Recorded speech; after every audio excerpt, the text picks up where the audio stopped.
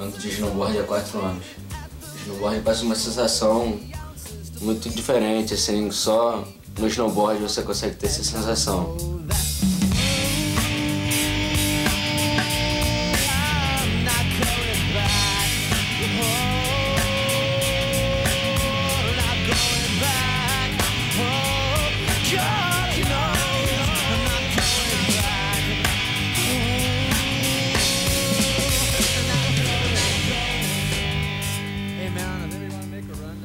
Meu sonho no snowboard é descer o Alasca com muita neve fofa. Só isso, botar pra baixo.